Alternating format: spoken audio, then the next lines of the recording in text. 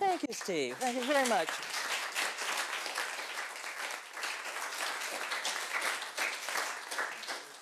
Thanks very much. I'm very happy to be here and see a lot of old friends and meeting new friends. It's just great.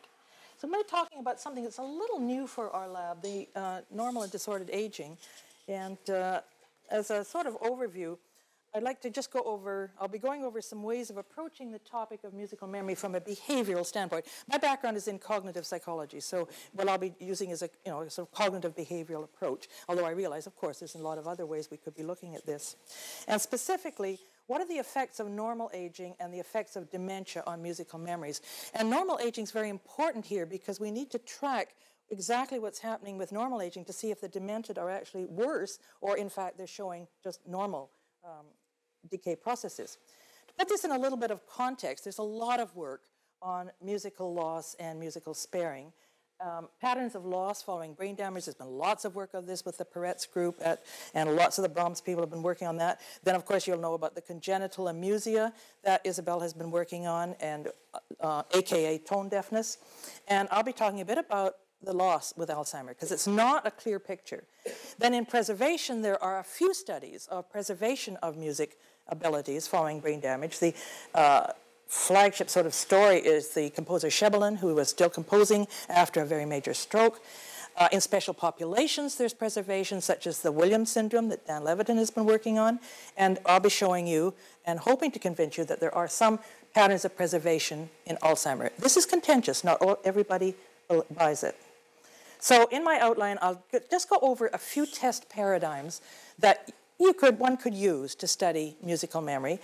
And then I'll talk a little bit about the participants that are recruited for these studies, and then I'll spend most of the time on the current studies and wrap up with a few um, conclusions or comments more.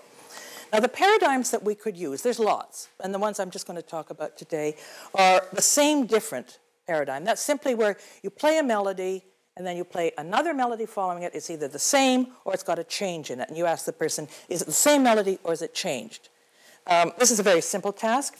I'm not going to use, there is a lot in psychology, um, theoretical constructs around these paradigms. I don't want to get into that because it's complicated and um, somewhat contentious. So I'm just going to stick with paradigms. Same different. Tonal knowledge, that is our ability to have learned the tonal structure of our cultural idiom. And this is not necessarily Western, it exists in other cultures. And the most uh, I guess, famous technique to get at this is the probe tone technique. There are other ways, but this is very, very well studied. Then the old new recognition task, I'll be spending most of my time actually on the latter two because they, there's more work on the aging and the um, dementia with the last two. The old new recognition test is been uh, highly studied, and then long-term familiarity uh, through do you recognize the tunes of your youth, the tunes you learned at church or, or camp or parties and stuff like that, and can you sing them? So when we talk about participants, generally, when I summarize or our own, young people are the young of available undergraduates, uh, 17 to 23.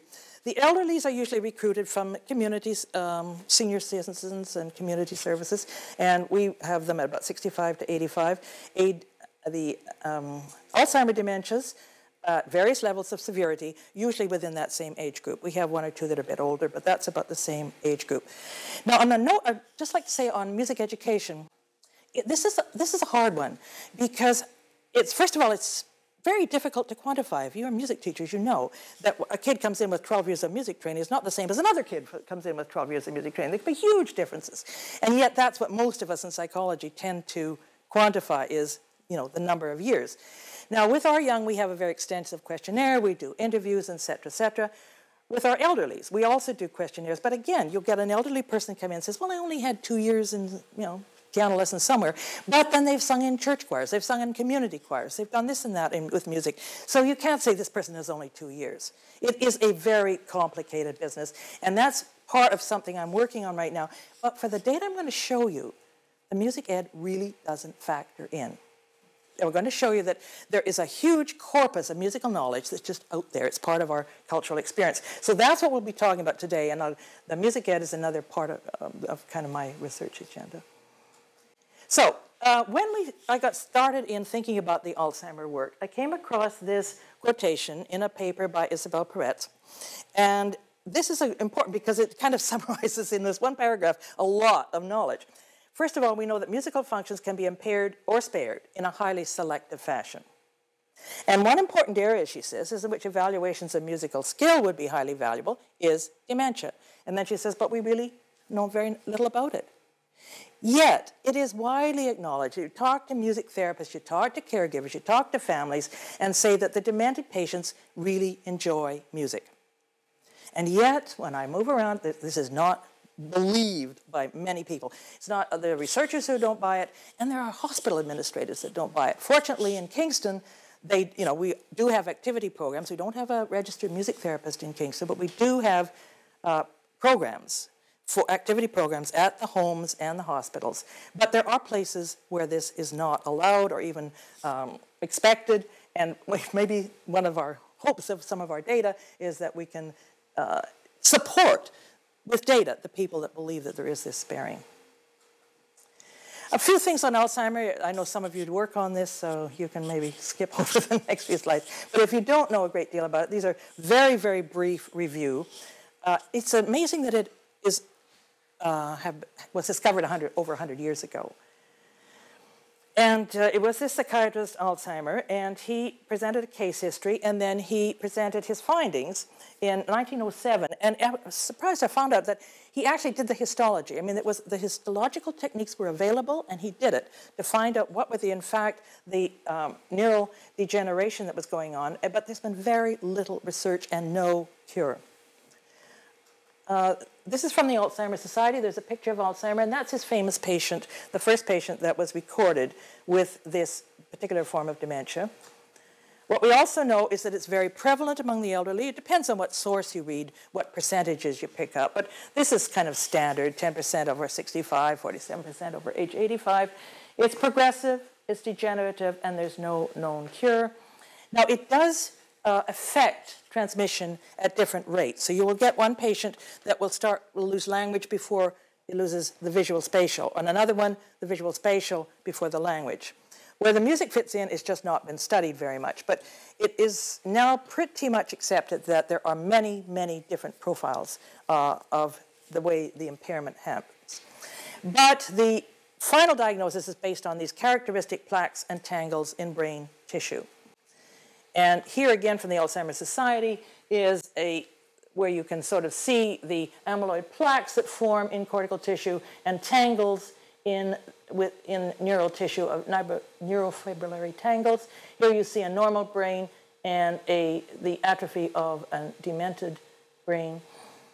Um, this is considered, the plaques and tangles are usually um, uncovered at autopsy or post-mortem. That's the final diagnosis. Now I know uh, the people at the Baycrest are using tracers and uh, getting, you know, with live people and that, and what you will not like to know is that a lot of us are walking around with plaques and tangles, except we're not demented. So it's not a complete one-on-one -on -one connection. It's, it's kind of confirmatory, but it doesn't mean if you did have plaques and tangles that you'd have the disease. Now, here's the, some behavioral materials. This uh, is from um, a friend of mine in the medical school, and this is what he uses with his uh, second year medical students to just get them the behavioral sense of the stages of dementia. In the first stage, the really obvious thing is the memory loss. And often people are aware of the memory loss, and they'll go to the doctor and say, you know, I've got, I've got some sort of memory loss. But usually the family is the one to pick it up. There can be language problems, mood swings, personality change, and diminished judgment. But they don't all happen, but some of them happen. And then in the moderate stage, you have more serious personality changes, the inability to learn or recall new information, long-term memory affected, then you get the problem of the wandering and agitation. So they can't really be left home alone because they'll start wandering. And they, that means that they really, you have to have somebody with them all the time. You don't necessarily uh, have to be hospitalized at that point, but they have to have help. That AD is uh, activities of daily living, and they do have to have help with it. And then when we get severe, then it gets really bad. It just progresses inevitably to these stages. You, I've noticed it myself and my, participants, the gait starts to go, even maybe even the moderate stages. Uh, they are usually bedridden or in wheelchairs. They're incontinent. They're unable to perform any activities of daily living. They have to be fed, washed, and so forth. And unless, although there are some cases, I know at least three in our samples, where they're being kept at home and being looked after by a spouse, but usually they must be put in long term care. Now, the assessment is difficult. It's not um, 100%, but the medics are pretty good at this. And actually, with the uh, postmortems, they're probably about 95% correct these days. They get the medical history, the physical exam, there's brain scans, but that's usually done in the mild stages to rule out a reversible form of dementia, that is a tumor, or to find out if this person's had a stroke or so forth. Uh, it's not used, I mean, the, at Baycrest they're using it now to try to get at um, more detailed notions of atrophy, but it's not, the, the field is not all that there yet. And then there's tons of psychological tests. I'll only mention a few. Um, particularly the one I'll mention is the MMSE, which is the Mini Mental Status Evaluation, and that's the one we always use because it's a kind of gold standard out there that you uh, report on your elderlies and your patients. Now, The mini mental, if you're not familiar with it, is a very simple test if you're wide awake and healthy brained. Uh, it's sort of, where are you kind of question. And mind you, we do give our elderlies a bit of uh, slack on that because the Queen Psychology building looks like every psych building built in the 1970s. And if they don't know that they're in a psych building, we don't blame them because it's just gray and amorphous. You know, so they say they're on Queen's campus. We say, fine, you got it. And, and you you have a, a, few words to recall, name objects, uh, follow a command, read a sentence, write a sentence. It's very, very simple. And uh, a healthy elderly person should get a very high score on this. Um, these are the sort of, the scores out of 30 and uh, 24 and up is considered normal, and then 20 to 23 mild, and it goes down from there. Uh, in our work, we require 28 um, because we just want to make absolutely sure that the problem with a little bit lower than that is you might be running into something called mild cognitive impairment, and that's a whole different kind of uh, kettle of diagnosis that uh, is um, we just think we better um, treat separately or look at separately. Now, I'll go over some findings from those four um, paradigms that I mentioned before the same, different, the tonal knowledge, the old new recognition, and then the long term familiarity. Now, with same, different, I did quite a lot of work on this in the 80s, if I may mention such a long time ago, but, and so did Jay Dowling. And we did a lot of work with sort of structural properties of these melodies. But I'll give, show you a few more recent uh, papers, don't, uh, just to show you there's quite a lot of work on this, on this idea. And those of you from uh, BRAMS will know Peretz's uh, MBEA paradigms. And here you can see at the top, there's a nice tonal stimulus. And what is varied here are the kinds of comparisons that you might be asked to judge against that standard. So in the second line, we have uh, where the asterisk is, you can see that there's a note that it's the same contour, but it's out of the key. So that should be pretty easy, and it is for most people. In the next line, the contour changes, but the note's in the key. In the next line, the contour is the same, and the note is in the key, so you have to make an interval judgment on that. And in the very last same different, then we see that the rhythm's been changed, that uh, the note values have been changed slightly so that the groupings, here you have that grouping, then and then here da da da, you know, and so there's a difference in grouping, and you're asked is that same or different. Now, all I'm going to say about we've done quite a lot of work with this too, and is that the structural properties of the melodies are very important in a same different task. If your uh, standard melody is tonal, it's a lot easier than if it violates some of the tonal properties. Music training is implicated here. Musicians do better than non-musicians. And here I'm saying, you know, young people, some with in the music school versus young people who have uh, not had very much training. It is implicated, but not very much. I mean, the musicians are sort of more accurate, but they follow the same pattern of results. They all respond to tonality in the same way. They respond to contour in the same way. So it's not. Now, we really don't know about aging. I was talking to Isabelle two weeks ago, and she said, uh, a systematic study of aging has not been done with the same different paradigm. I have a little bit of data in the paper with Willi Steinke. That was an earlier version of the MBEA. And we ran 12 or so, 20 controls, elderly controls, and they were fine. They were really quite okay. And I looked at Isabelle's Excel data on the internet, and they looked, checked out some old people, and they were doing really well. So I suspect that although the study really needs to be done, that aging is not going to be implicated very much. Moreover, on dementia, I'm going to leave this one. Uh, I found two papers from the 90s. One said there were some effects in dementia, and the other one was the Curio paper where Robert Zatorre was involved, and it said there weren't. So I'm going to leave this as a cold case. I think we're going to get back to it. I think it might be differences in the stimuli, and I think it deserves some further work. Uh, I suspect, again, it will be very slight. If aging is slight, I suspect it's slight. Now, the tonal knowledge, some of you may know some of the Krumhansl work. Uh, this is just a couple, the 1990 book, and that's a paper in Journal of New Music Research. The probe tone technique is a very simple one to set up.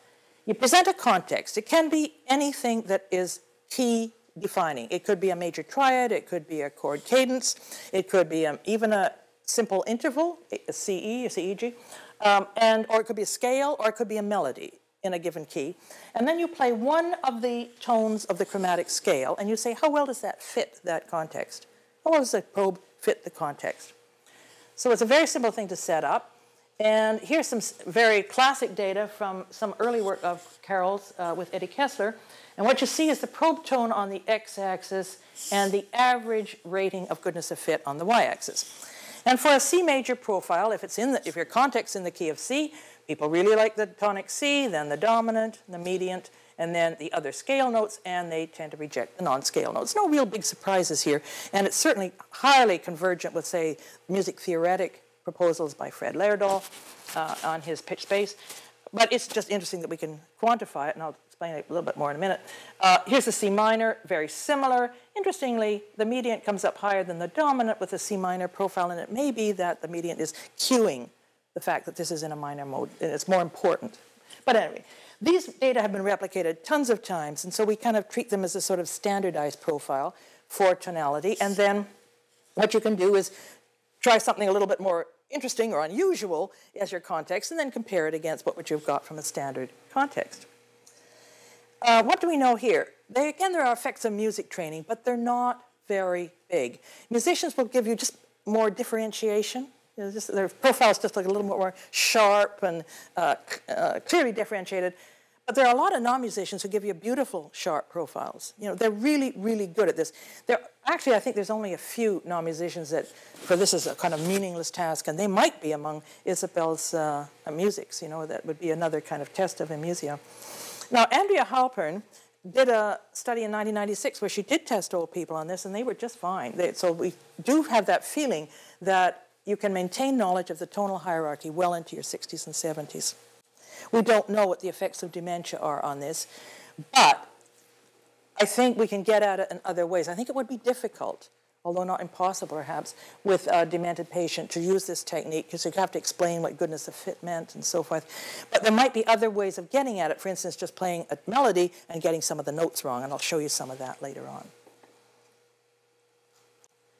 Now, the old new recognition, now we're getting into some where we got some really a lot more data than those other two paradigms. This has been studied extensively by uh, Isabelle Peretz, Lise Gagnon, Sylvie Belleville, and, the, and colleagues, and by Andrea Halpern and Jay Dowling, Jim Bartlett, and others.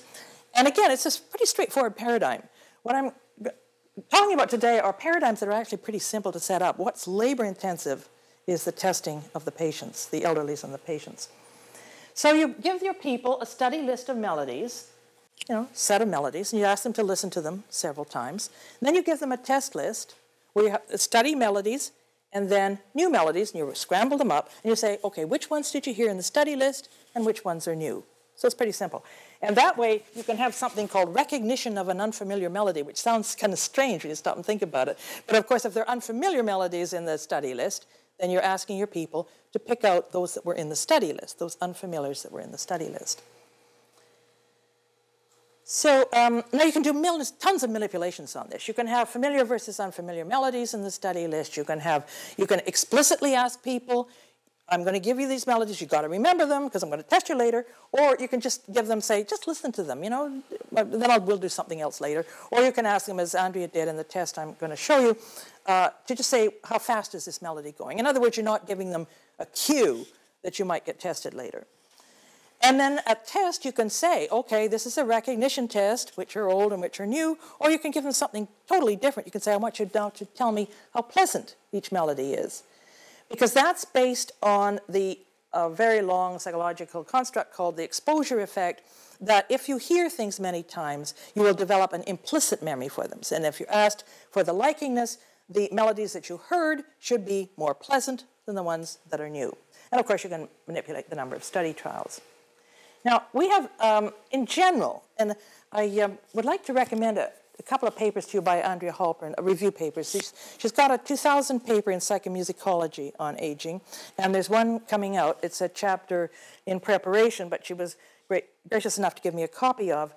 She has some wonderful just ways of summarizing a lot of complicated data. So uh, these are, I think, are kind of, although there's, uh, you know, uh, qualifications on different parameters, the effects of music training are slight on this one. They're very, very little, few effects of music training. Aging is pronounced.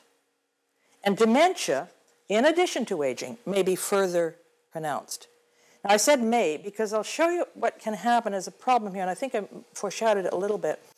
Um, our current study, we are extending a paper by Halpern and O'Connor in 2000. And they presented eight unfamiliar melodies, two times each, with instructions at the time of presentation, how fast is this melody going? So they go through this, and people comply. And then they had 16 melodies in the test series, eight of the old ones and eight of the new. And the listeners were asked to respond, is this old or is this new? And then rate the pleasantness. Now, here's the Halpern data. Oh, no, what we did, oh, sorry, this is our current study, and then I'll do them together. Our study is very similar, except we noted that their elderlies were really quite low. So we kind of made it a little easier for our elderlies by presenting three times with explicit instructions. You're going to be tested on this later. That's the only difference.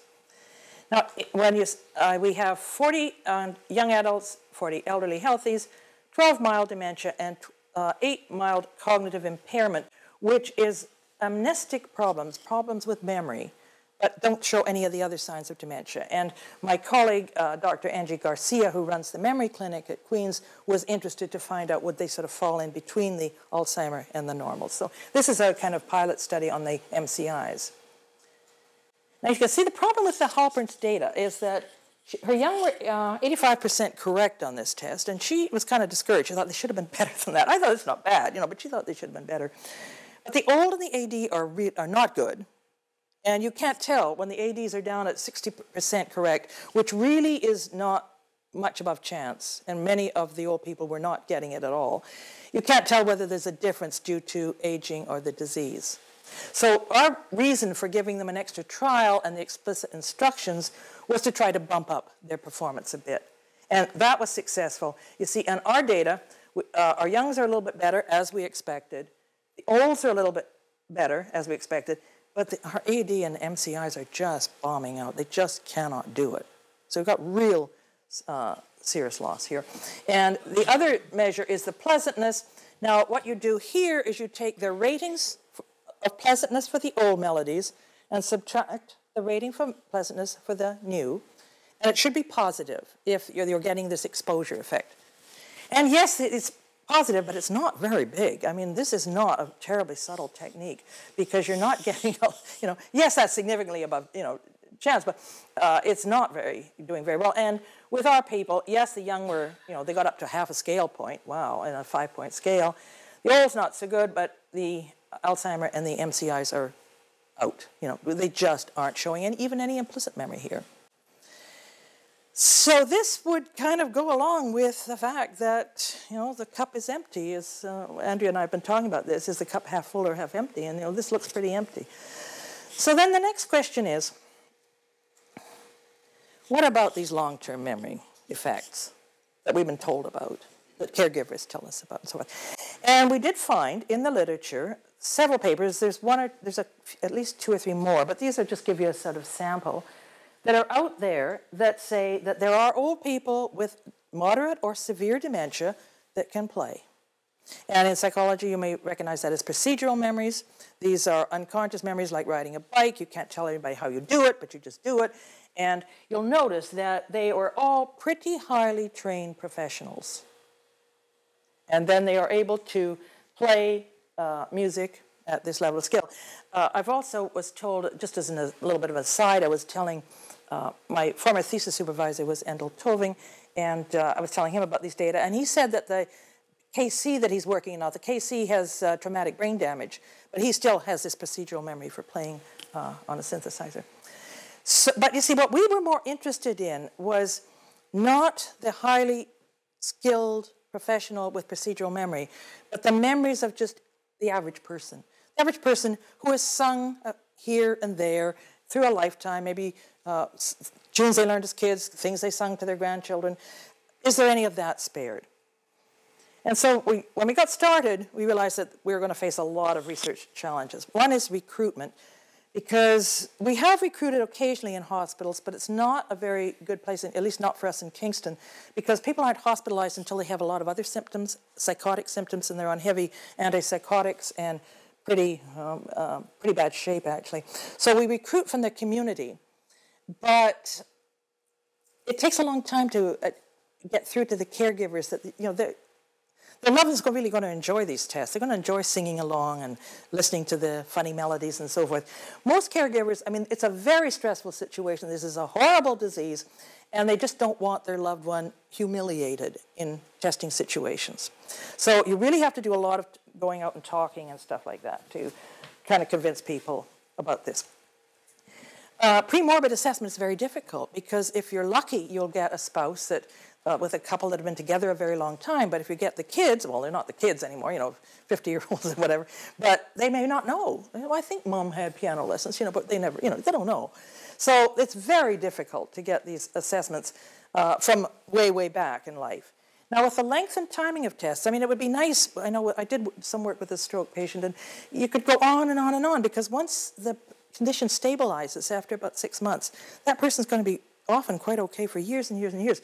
With the Alzheimer, you got to get in there fast, and you got to get in there with short tests because they tire quickly and their their condition change, rapidly changes. You can't say, okay, I'll wait till I develop uh, you know, pilot work on this particular test and I'll come back because they may be in a totally different state of the dementia. And of course, there's attrition. We've lost several of our patients uh, over the last year. And then the question was how to get response measures when you, from a severely demented person. And so there we came up with the idea of behavioral observation. And if all goes well, I'll be able to show you a video of a severely demented person. Uh, we just turn the video on and we just play the little pieces of music and watch. Do they sing along? Do they respond with facial animation? Do they respond with gestures and so forth?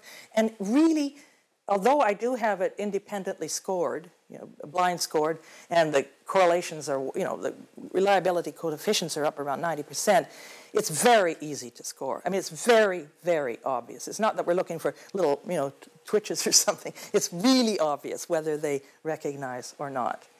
Now, with the moderates, mild and moderates, usually uh, we don't go, we, we, do do the videos, but they tend to get a bit more sense that, oh, this is kind of a test. But with the severes, there's no idea that it's a test. They just think, well, you know, the, here's a nice young student come in and wants to sing melodies with me. So this is our this was our first patient um, that we published in 2005. And she was an older lady, and I, uh, she's the one I have a video of, uh, in a long-term care facility. She was very demented. You see the mini mentals there is eight. She didn't know her family. She didn't know her children. She didn't know where she was. Um, she was very disoriented. But she had loved music, and when I look back on it, I think that one thing that might have helped a bit is that the family had moved a complete uh, hi-fi system into her room so that she could listen to opera, operatic music that she loved so much.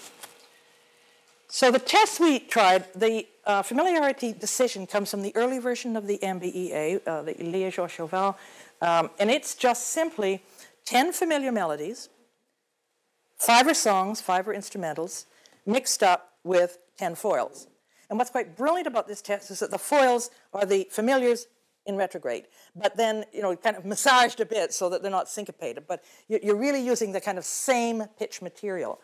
And the lyrics prompt is that we just measured, we give them sort of um, monotonic lyrics, silent night, holy night, all this, and just see if we could prompt them to sing back. The famous melodies is one we use with our stroke patient. I don't use it too much anymore because it's awfully long. It's 115 melodies, and um, it just takes days to get through the famous melodies. And distorted tunes, you may have heard of this, Dennis Drayna's distorted tunes. He started this um, as a genetic study. He was trying to see whether, and get genetic uh, coefficients on whether twins uh, were more likely to be uh, the same on, on this. And it's something like this. It's terribly easy to hear the distortion. I mean, if you have the America the Beautiful at the top and then the distortion uh, distorts that interval and then follows the contour. But I mean, that is really, really obvious to most people. But about, they argue, about 5% of the population cannot tell the difference. And we have some examples of this later on.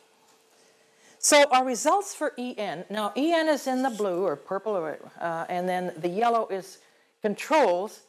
Um, you can see that on almost all tests, even the lyrics pump, now that was an early test where we only had four lyrics. So she's getting three out of four. She's not doing too bad. And on all the rest, she's really doing very well. I mean, she's really enjoying these tests. She's singing back to us. And we were very encouraged that maybe there is something in our you know, ability to retrieve familiar melodies. So it was very enjoyable. We tried the test several times. Uh, she got slower, but she never picked up on the novel, which I thought was kind of interesting because we were getting very bored with them by the time we'd done it several times. And then she passed away in 2005. I mention that because we were criticized in print for not having neuroimaging on her. Now, you do not do that to a severely demented patient. It would be frightening. I'm sure the family wouldn't allow it in the, anyway. Uh, you couldn't explain the procedures. And, but we did get a postmortem. The family wanted a postmortem. They're very, very supportive of this research. And mainly the postmortem guy, just, you know, to make sure that the diagnosis is correct, because we haven't said, oh, well, if she got those melodies, it wasn't really AD. But all the postmortem data were that all the neuro changes were quite consistent, quite consistent. But what was interesting is what he also gave us was that there was mild to moderate cerebral atrophy in the frontal lobes and in the medial temporal and we've also been said, well, she must have intact medial temporals, but no, she doesn't. So this is quite a puzzle. This is quite a puzzle. Now we followed that with three more participants. I'll go through, I'm just keeping my eye on the time, um, fairly quickly.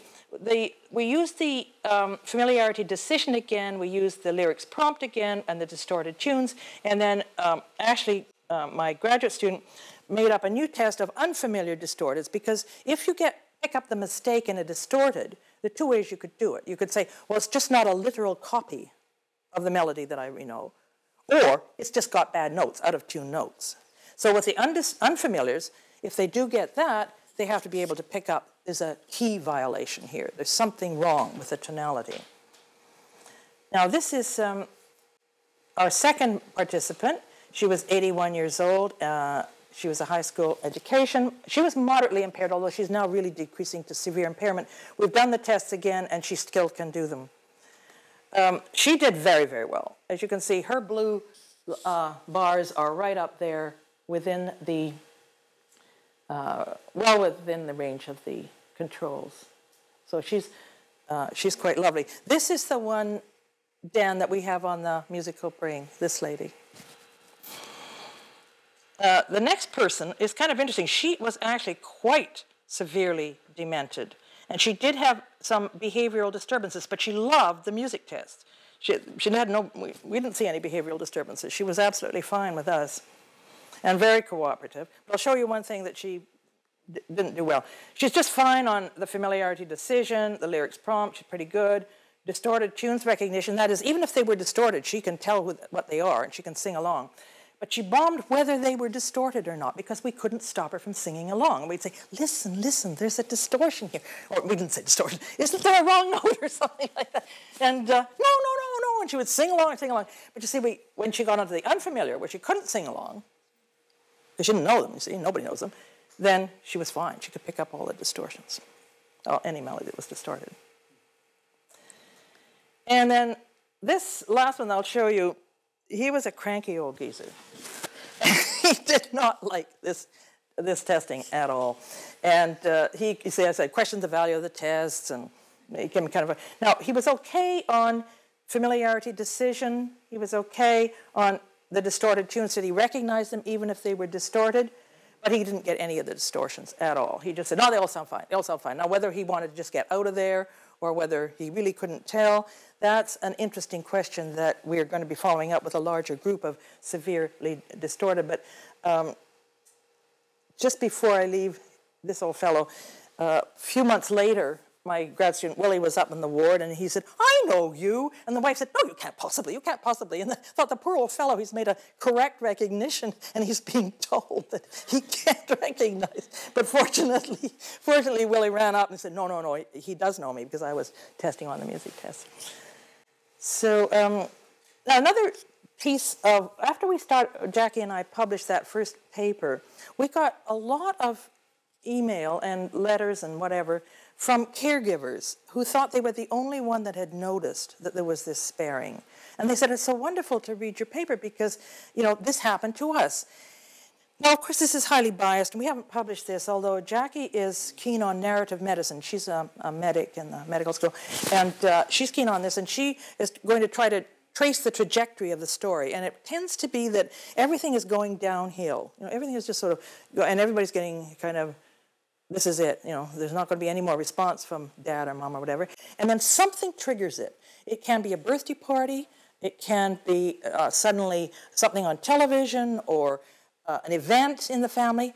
And in one case of this old geezer, he, he got up, he was from the Maritimes, got up and played the spoons and the harmonica and danced, and it was just, the family just, you know, it was a birthday party, just astounded. So we do get these stories. It's a kind of slow decline, then some event kind of triggers this musical memory.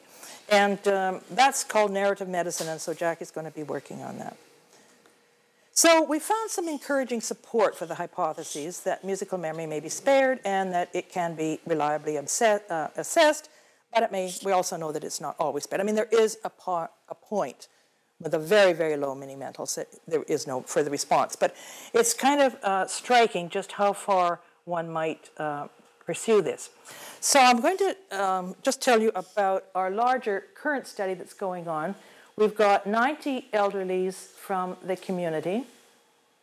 And as I said, we try to keep the criteria from mini-mental pretty high, and we're using a pretty wide range of backgrounds here because eventually I'm going to be sort of sorting this out, but I can tell you right now that we've done a lot of stats so far on these elderlies, and there is no difference that according to um, their professional background, their music ed, or their um, just general status at all. And against that, we have 48 of the kids from Queens, and then right, right now up to 32 Alzheimer participants. We have 17 at the mild stage, 8 at the moderate, and seven severe. We lost two of them. Um, not of that seven, we had nine originally. But they are generally comparable to the healthy elderlies. Now, how I'm going to, the test that we used was a familiarity decision that I've showed you before. That's the one from the Liégeois Chauvel battery. Familiar lyrics we made up ourselves, and uh, it, there's no way we can, and I'm not claiming in any way that these are parallel, because there's just no way you can make them absolutely parallel. Like for the familiarity decision, the tunes are played retrograde or backwards to be novel tunes. You can't play lyrics backwards and make any sense at all. So you have to find lyrics that are comparable but probably not well known. And we found in some very old songbooks lyrics that probably that they're lyrical, they have the same sort of topics like Christmas and birthday and harvesting, you know, the sort of standard topics. And uh, no, the proof is just simply in can people discriminate between the familiar and the unfamiliars. The distorted tunes is the one I told you about, the Dennis. Distorted lyrics is where we try to come up with a parallel, uh, not, I'm not making any claim that it's equivalent, but a parallel test where the lyrics have some grammatical distortion. We don't change the meaning, just sort of um, change some of the some of the words uh, just to change the actual uh, gram grammatical structures. Lyrics prompt is like it was before. We just give them the lyrics and we say, can you sing the tune? Now we, are now up to 10 lyrics. Again, you can't make these tests too long because your, your patient or your person will fall asleep. And uh, so we have the lyrics. And then the Proverbs completion was, that was my friend Jackie Duffin, that was one of her pets, and she thought she'd try it on EN, and we found that EN, that was our very first patient, didn't do too well, but we wanted to see how others would do. And that's, that's different from intelligence tests. In intelligence tests, you are trying to get at the, do they get the meaning of the proverb? We're just saying, what's the literal ending of it? A stitch in time? We just want the ending of it. So it's much more literal, not meaning. Now, the way I'm going to present the data is as a box and whisker plot um, it's a very unforgiving way of plotting data because you show everything. you, don't, you can't hide things under the standard error. Um, but what it is, if you're familiar with it, it's just simply uh, this is the median response here, and the box is the 25th to the 75th percentile. And then the whiskers, that's the whisker here, and the whiskers are usually everything, but if anything is more than one and a half whisker lengths from the box, then it gets plotted as an outlier. So we'll see some outliers. But the story is really there in the boxes. I mean, it's, it's going to be pretty clear. Um, but, you know, you will see outliers. Okay, so um, this is the familiarity decision test from the Liégeois, Chauvel, and et al. And to the left you see the effect of age, because here's our young people, and here's our old people, and then to the right is the effect of dementia, because we've got our mild, moderate, and severe. And that's the percent accuracy on the familiarity decision test. Now, actually, um, the old, healthy olds are doing the best. You're going to see several plots where healthy olders are better than young. The young are not very much down. Um, but that is significant. Oh. There it is. There it is. Okay. The youngs are a little bit down. That is significant because they've got a very large N. And they don't get Ravel's Bolero. We went and checked, you know, what don't they get? you know, there are cultural things, and uh, they. They didn't. Uh, they thought it was unfamiliar. Yeah. Well, it would be for them you don't hear it as much. I mean, we used to hear it all the time, and they don't hear it. Yes.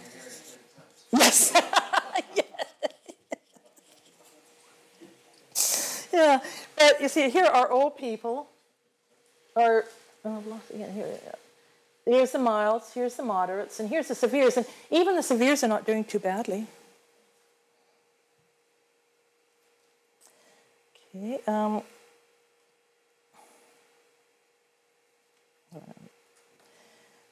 With the familiar lyrics, everyone's doing very well. we have the young controls and the AD controls next to them. The mild AD, the mm-hmm. moderate AD, and the severes over here. Now they're down. But notice that right up to the severe stages, they're doing very well on these on the lyrics.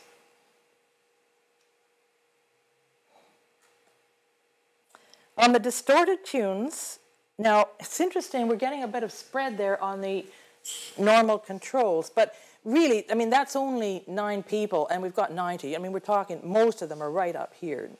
Uh, they're doing extremely well. The young, the, uh, oh, it's lost again. Yeah, the young, the aid, the healthy elderlies, and then the three levels of Alzheimer and we are doing, they're doing pretty well. Even the severes are doing a little bit, you know, they're responding reasonably well, although, you know, we're starting to lose them. Now we really do start to lose the Alzheimer people with the distorted lyrics, with the lyrics that have distor distortions in them, them has, or, you know, instead of the has or something. When the grammar is distorted, then we're starting to, to lose them somewhat. Then when we get to the lyrics prompt, that is where you're saying a few words in a very dry way and asking somebody to respond with the tune. Um, you, it's going to get a lot more variability, for one thing. Our old people are still doing very, very well uh, under the AD controls. Our old people are still doing very, very well. We, there's a few that aren't, but you know, there's that's only six out of 90, so that's they're doing extremely well. Um, the young people are highly variable. The AD are getting highly variable, and the AD severe are really, really quite low, except for some. Some are still getting it. And we had one old lady uh, that simply got them all. And she was so demented, really. Her state was so bad that she thought the testers were her grandchildren, and she invited them in, and she wanted to stay overnight, and uh, she blew them kisses when they left, but she got every tune. It was still there. It was, it was pretty amazing. And then uh, the Proverbs completion, well, here you, this is when you give the few words uh, of um, something like a bird in the hand is worth two in the bush. Judge not that you be not judged. These are ones we've standardized on a lot of Queen's people and older people. Uh, you can see the effects of the dementia are really kicking in. So it's not something just a literal memory that I've been sometimes told, oh, well, you're just picking up literal memories. No, because you go for these linguistic memories and they are really starting to go.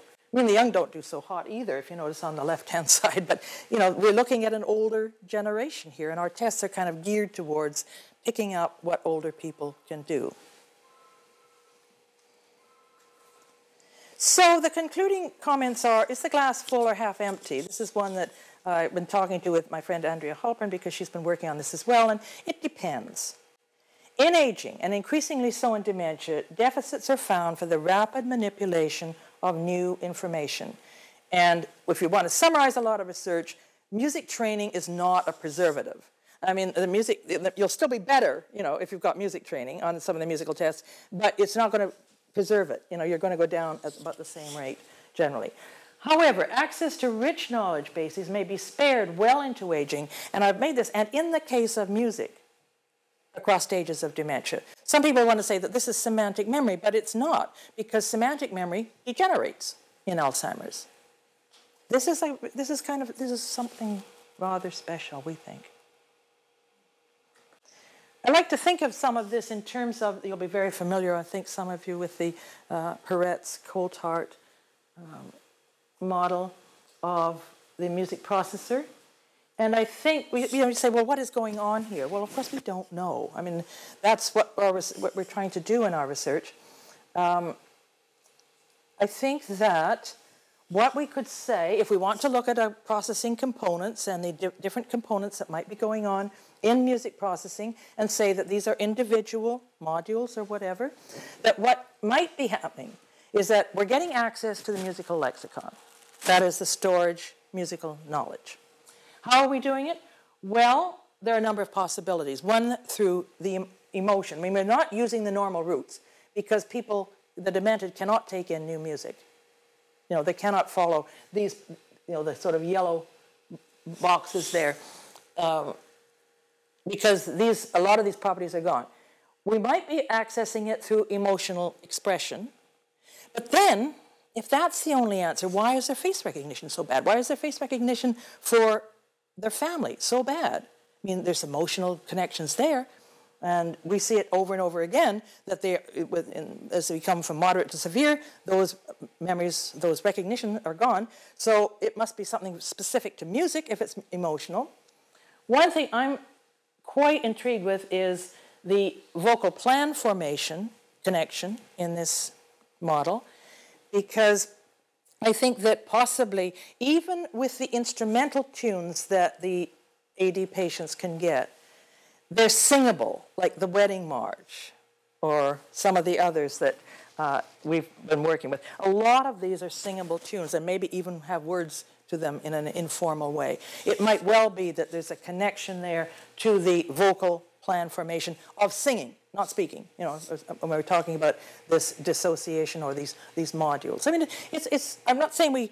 Um, can prove anything here with respect to this model, but I think it's helpful and I think our data support it. The last thing, I mean, we've been talking and thinking about a lot of these things. What is predictive of sparing? I mean, why is one person more have more sparing than the other? Is it early music training and liking? We have no evidence of that at all. Now, I'm sure if you go to really difficult tunes and difficult musical materials, you'll pick that up. But when we're picking up just the music of the culture, it doesn't seem to be there. I mean, it can be preserved well into severe stages. With the severity of the dementia, well, yes, of course, there is a point in time where you, you lose the patient. You, you really can. I mean, it's terribly sad, and we have been in, and we just just don't get any response. But until the patient is at that stage, it's amazing how the musical memories are preserved well into moderate, and moderate's pretty bad, really, in terms of functioning, um, and well into severe with some of them. I'd like to think that affect had a lot, like the emotional side. I mean, I think we'll be working on that a lot. But as I said, why doesn't affect work with other experiences that the demented person has had. Why is it only working with music? And I think the vocalization or perhaps the rhythmic components, the motor components are going to have a lot to do with it. So um, I'd just like briefly to acknowledge a few people. Um, uh, Andrea Halpern, Isabelle Peretz, and uh, Sella Olmsted uh, are the psychologists that I've been talking to. Ashley Vanstone is my grad student, and um, Jackie Duffin's my medical colleague that I've been working with, and um, Dr. Leclaire is the guy that gave me the Alzheimer, the one that teaches the second year medical students and gave me that slide. And Sudeep is another medical person that helps us out. David Keene is um, composer that helped me with, remember the, back to the, un, the unfamiliar distorted melodies and he checked them all out that they you know, established a good tonality at the beginning and had the right kinds of mistakes in them and so forth. And the next four are my students in the lab and, and our funding. And that's that. Thank you. Thank you.